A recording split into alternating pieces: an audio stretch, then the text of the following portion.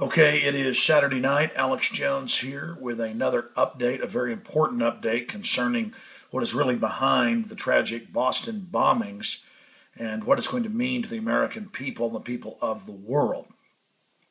But first off, I want to begin this little uh, breakdown uh, showing you Barton Springs in Austin, Texas. If you ever visit, believe me, you want to go there.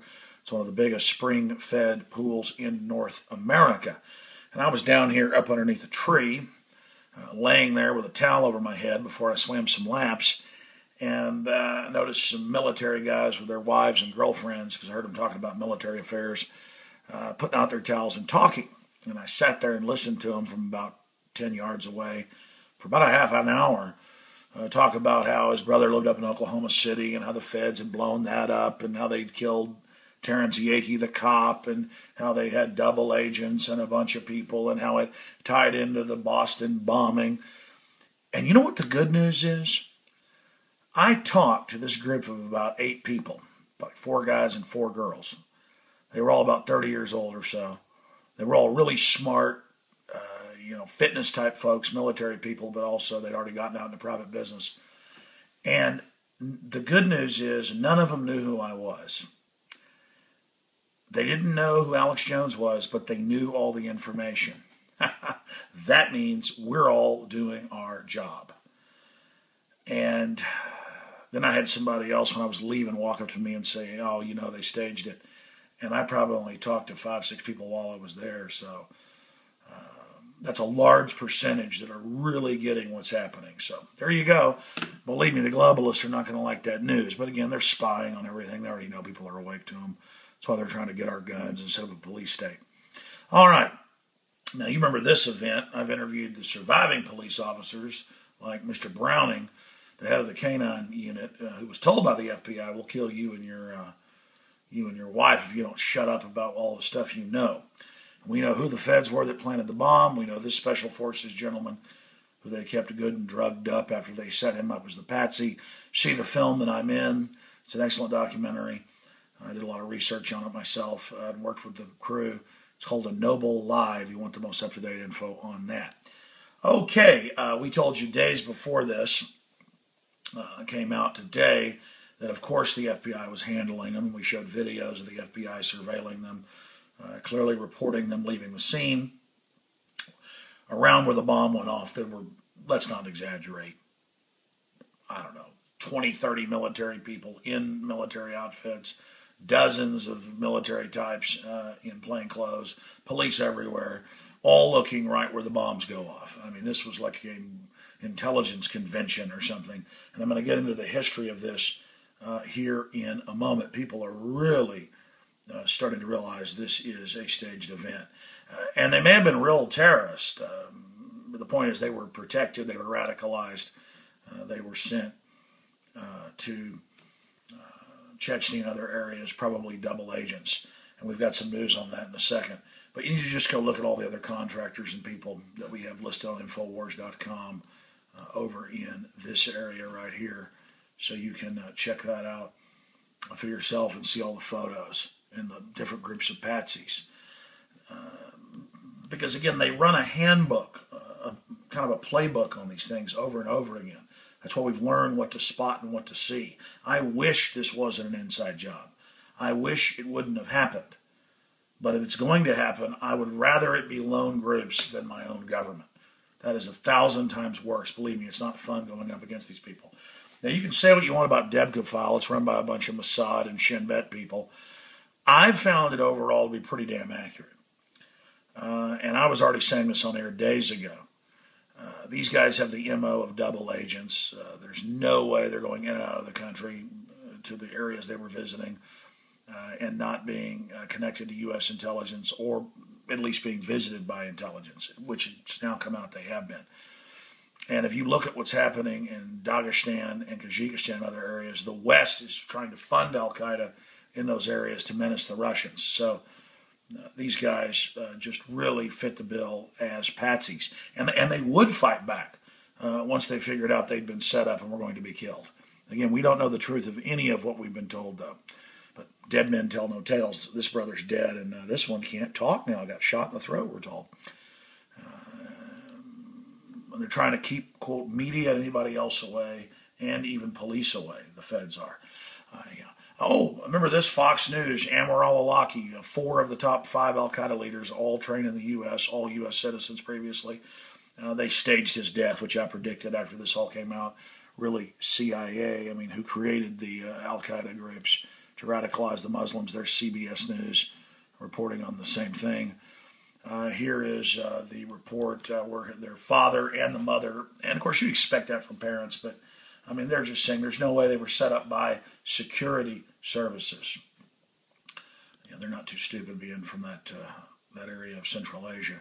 U.S. teen accused of seeking to join Al Qaeda linked Syrian group.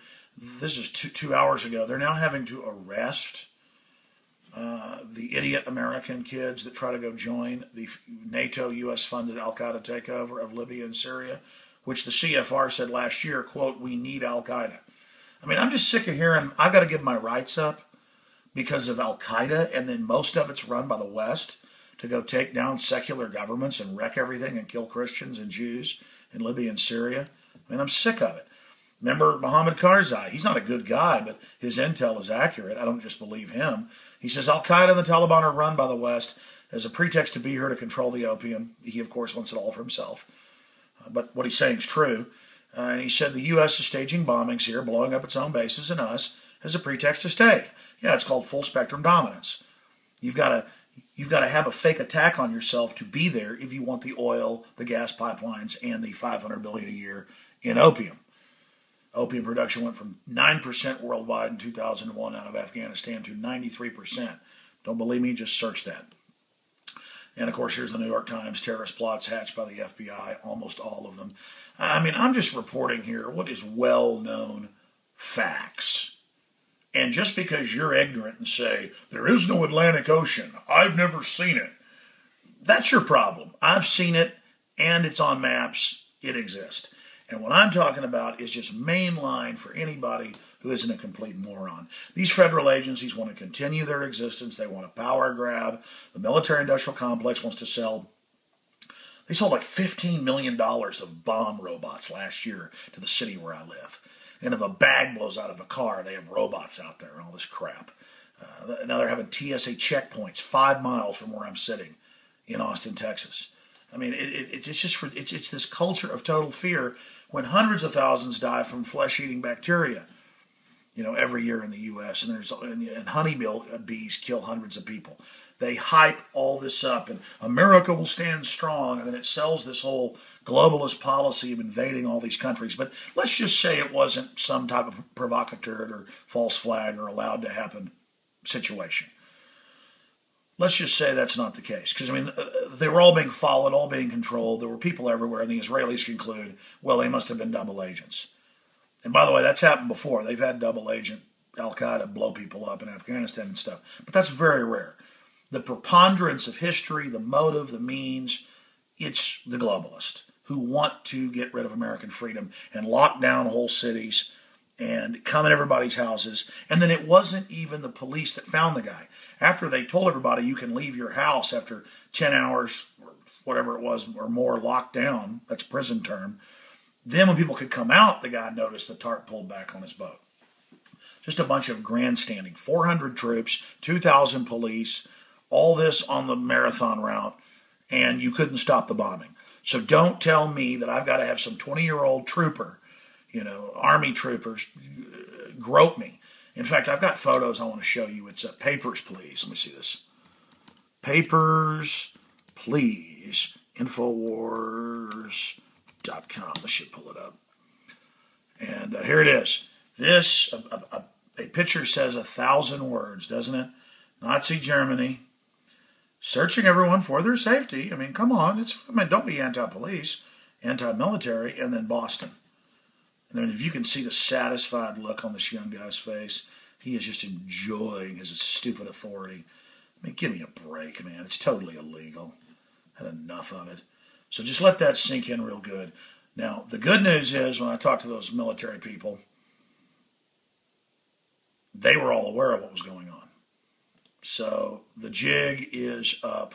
And of course, they're coming after black powder. Oh my gosh, they might have used black powder that people use. So now you got to register it or restrict it and SWAT team anybody that doesn't have it properly. Just more reasons to harass gun owners.